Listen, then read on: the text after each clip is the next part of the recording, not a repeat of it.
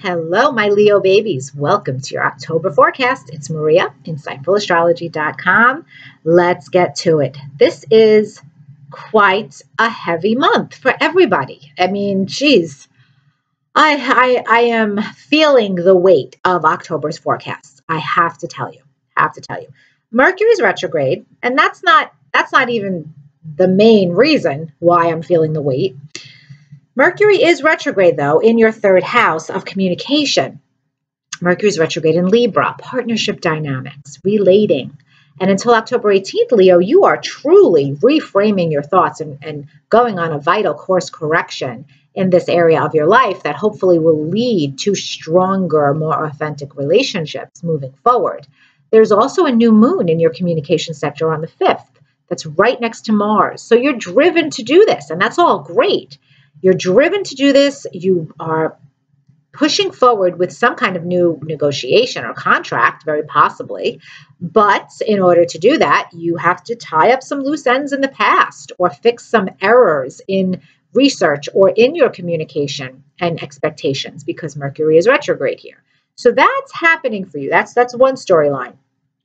And that's not that's not the most difficult of what's happening for you this month. It's just that, you know, you've, you're not thinking correctly about something in a relationship dynamic, and it does require attention. I do see you getting there, though. I do see you getting there. And here's why Saturn is going to turn direct on October 10th. Where is Saturn? In your partnership sector. And Saturn here, once, once he's direct, is going to allow you to move forward responsibly with that commitment mindset, with the duty, responsibility, obligation, perspective in taking your relationships seriously, business or personal. And part of how you're going to take responsibility for your role in this connection is through this reframing of your thoughts, your decisions, rethinking your decisions, rethinking your conversational style with your partner. Now, doing that is going to get you to the point at this month, at some point this month, if you're in a relationship, of okay, is this relationship sustainable for both of us? Can we move forward now that I am changing my perspective and I'm willing to talk about things and confront things in a different way? Or is this relationship really not what is in our best interests for the future? I don't see a breakup. I don't see that. What I'm seeing is kind of like a breakup in your mind that has to happen in order for you to move forward in an a responsible way. It's it's kind of like Leo, I love you and all, but it's time for you to take responsibility for your role in your relationships. And this month, that's happening for you. And it might not feel good for some of the time while Mercury's retrograde in particular, the end of the month in particular, okay, when, when Mercury goes direct, but it's it's worth it. It's worth it.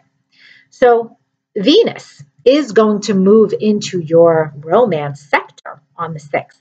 And if you're totally single, this is a great energy to meet someone new, fall in love, start dating, have fun. Just enjoy, enjoy, enjoy. This is a love, love, love pleasure energy. It's you're going to enjoy your time with your children if you have any children. If you're working on a creative project, it could be very lucrative. So keep at it. And then Mercury will go direct on the 18th. And then there's this full moon that I'm not exactly a fan of because it's stressed. This is a difficult full moon. And, you know, hey, I wish it wasn't. It's in Aries and I have Aries rising. So I wish this was a great full moon, but it's a tough, tough cookie. This full moon is happening in your ninth house, which is your beliefs. This is the legal world. This is higher education, spiritual matters.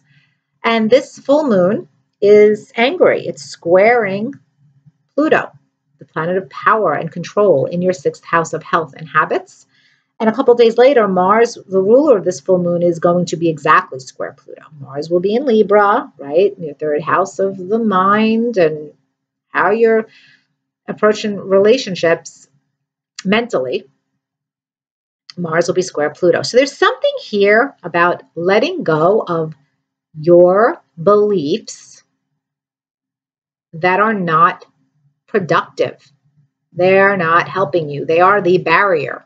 There's something about your rigid, not rigid, righteous, almost a self righteous mindset that is hurting you in a relationship.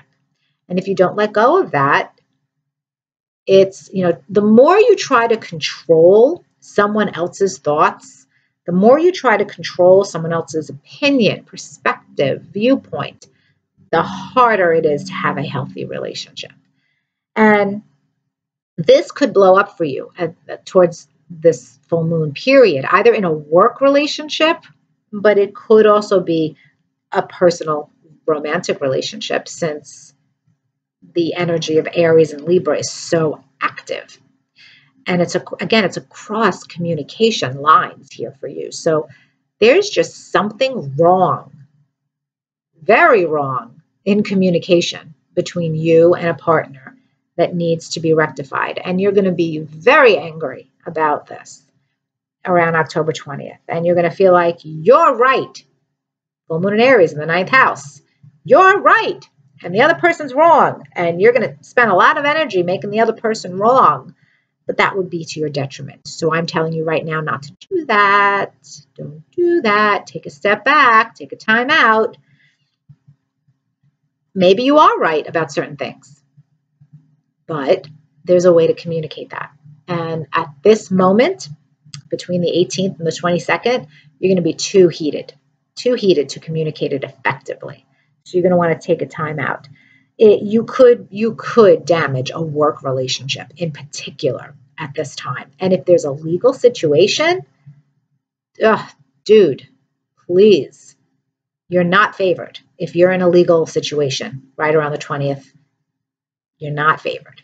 It doesn't look good for you. So don't get yourself in a legal situation at the end of the month, okay? And your ethics might even come into question with a work relationship, a work situation. And you may try to finesse your way out of it or convince the other person that you're you didn't do anything wrong. But if you did something wrong, Leo, you, you're gonna you're gonna be caught. Not saying that you are doing something wrong, so don't. you know I love you, Leos. Okay, I really do. Both of my kids are Leos, but I gotta I have to be as honest as I can about my assessment of the astrology here, and it's difficult. And and I think that you're going to have to really let go of some unhealthy beliefs that are not serving you, that are making you ruthlessly self directed in a wrong way and realign yourself. Realign yourself. So, you know, where's your help? Where is your help this this month? I think a spiritual mentor would be really helpful for you. If there is somebody, a professor, somebody in your clergy, somebody that you look up to, a wise person who has managed to get through some kind of adversity of his or her own, listen to that person. That person might help you a lot this month dealing with this uh, this drama that's on the table. And then on the 30th, Mars will enter your fourth house of home, family, real estate, and remains here until December 13th. So you might be busy with some construction project at home over the next few weeks. Yes, this could be some family conflict coming in for you. It doesn't have to be. Mars, you can really easily discharge the energy of Mars in your fourth house by choosing to do a, a construction project, by choosing to, you know, anything, pick up a hammer, just move furniture, do something physical at home, and you can discharge that energy.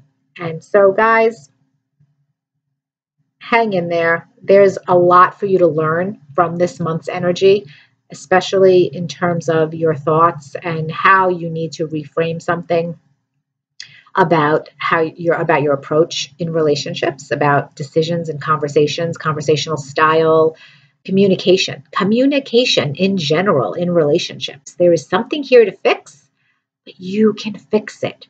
It just won't be easy. All right? But fix it. This is supposed to be a course correction. So, my friends, correct. Come correct, and you'll be fine.